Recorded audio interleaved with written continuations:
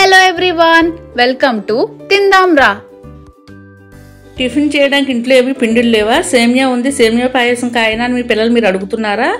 అస్తమాట్లు సేమియా పాయసం మీద మాకు బోర్ కొడుతుందని మీ పిల్లలు అంటున్నారా? అలా అయితే గనక అదే సేమియాతో పిల్లలకి ఈజీగా టేస్టీగా బిర్యానీ చేసి పెట్టండి. పిల్లలతో ప్లేట్లు ప్లేట్లు లాగించేస్తారు. ఈ బిర్యానీ ఎలా తయారు చేయాలో చూద్దాం పదండి.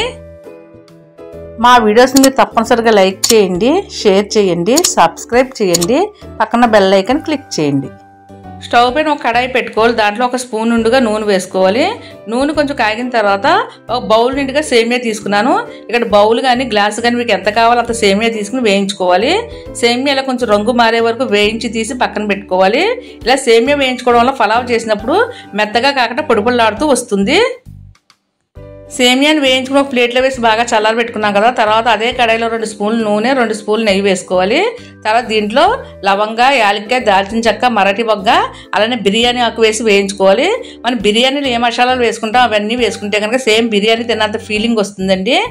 ఇవి కొంచెం వేగిన తర్వాత ఒక గుప్పుడు జీడిపప్పు వేసుకోవాలి. జీడిపప్పు మీకు ఎంత కావాలంటే అంత వేసుకోవచ్చు. జీడిపప్పు కూడా కొంచెం వేగిన తర్వాత ఒక పెద్ద ఉల్లిపాయ ఇలా సన్నగా కట్ చేసి ఉల్లిపాయ నాలుగు పచ్చిమిర్చిని సన్నగా చీల్చి వేసి వేయించుకోవాలి. ఇవన్నీ ఇలా వేగిన తర్వాత బంగాళదుంప చిన్న చిన్నగా ముక్కలుగా కట్ చేసి ఆ బంగాళదుంప ముక్కలు వేసుకోవాలి. తర్వాత క్యారెట్ ముక్కలు టమాటా ముక్కలు ఉడికించిన పచ్చి బఠానీ వేసుకోవాలి.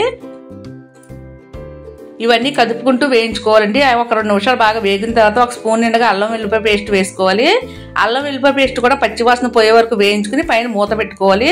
ఇలా మూత పెట్టుకుని కూరగాయ మొక్కలు మగ్గించుకోవడం వల్ల కూరగాయ మొక్కలు బాగా మగ్గుతాయండి. కూరగాయ ముక్కలు బాగా మగ్గిన తర్వాత ఇక్కడ నేను రెండు స్పూన్లు మేగడ వేసుకుంటున్నాను పాల మీద మేగడ. ఇది పాల మీద మేగడైనా వేసుకోవచ్చు బటర్ అయినా వేసుకోవచ్చు అండి లేదా గట్టిగా ఉంటే పెరుగైనా వేసుకోవచ్చు. ఒక అర స్పూన్ హోమ్ మేడ్ మసాలా పొడి వేసుకుంటున్నాను. ఇక్కడ వావ్ మ్యాజిక్ మసాలా పొడి ప్యాకెట్ తెచ్చుకున్నాను. ఆ ప్యాకెట్ పొడి అంతా కూడా వేసుకుంటున్నాను. ఇది ఉంటే వేసుకోవచ్చు లేదా మరొక అర స్పూన్ మసాలా పొడి ఎక్కువ వేసుకోవాలి. మీ టేస్ట్ తగ్గట్టు సాల్ట్ని యాడ్ చేసుకోవాలి. ఇవన్నీ ముక్కలు బాగా పట్టేలా కలిపి మూత పెట్టి ఒక ఐదు నిమిషాలు బాగా మగ్గనివ్వాలి. ఐదు నిమిషాలు బాగా మగ్గిన తర్వాత మనం కడిగి ఆరబెట్టుకున్న పుదీనా అలానే కొత్తిమీర చిన్న చిన్నగా కట్ చేసి ఆ ముక్కలు కూడా వేసి బాగా మగ్గనివ్వాలండి. మనం ఏ గిన్నెతో అది మనం సేమియా తీసుకున్నామో అదే గిన్నెతో గిన్నె నిండుగా నీళ్ళు పోసి మరొక అరగిన్నె నీళ్ళు పోసుకోవాలి. అంటే ఒకటికి ఒకటిన్నర నీళ్ళు పోసుకుంటే ఈ సేమియా బిర్యానీ పొడిపళ్ళలాడుతూ చక్కగా ఉంటుందండి.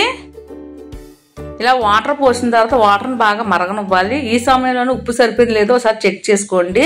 తర్వాత మనం వేయించి పెట్టుకున్న సేమియాని వేసి ఒకసారి బాగా కదుపుకోవాలి. ఇలా కదుపుకున్న తర్వాత మూత పెట్టుకుని ఉడికించుకోవాలి ఇలా ఉడికించుకోవడం వలన సేమియా బిర్యానీ పొడిపుల్లాడుతూ వస్తుందండి. మధ్యలో ఒకసారి కదుపుకుంటే సరిపోతుందండి. అస్తమాట్లు కదపన అవసరం లేదు. ఒక పది నిమిషాలు ఉడికిన తర్వాత స్టవ్ ఆఫ్ చేయాలి. కొంచెం చల్లారిన తర్వాత మూత తీసి చూసుకోవాలి చూడండి సేమియా బిర్యానీ పొడిపొడిలాడుతూ ఉంది. కొంచెం వేడిగా ఉన్నప్పుడు ఇలా మెత్తగా అనిపిస్తుంది కానీ చల్లారిన తర్వాత వీడియోలో చూస్తున్న విధంగా పొడిపొడిలాడుతూ చాలా బాగుంటుందండి. సేమియా బిర్యానీ ఇలా చల్లారిన తర్వాత సర్వింగ్ బౌల్ వేసుకుని కొత్తిమీర వేసుకుని సర్వ్ చేసుకోవాలండి. చూశారు కదా? పొడిపొడిలాడుతూ సేమియా బిర్యానీ ఎంత బాగుందో. మీరు కూడా ఈ విధంగా తయారు చేసి పిల్లలకు పెట్టండి. చాలా ఎంజాయ్ చేస్తూ తింటారు. ఇలా సేమియాతో అస్తమాట్లు పాయసం కాకుండా పిల్లలకి ఇలా బిర్యానీ చేసి పెట్టండి. చాలా ఇష్టంగా తింటారు. ఈ సేమియా బిర్యానీ రెసిపీ కనుక మీకు నచ్చినట్లయితే తప్పనిసరిగా మా వీడియో లైక్ చేయండి షేర్ చేయండి సబ్స్క్రైబ్ చేయండి. Thank you.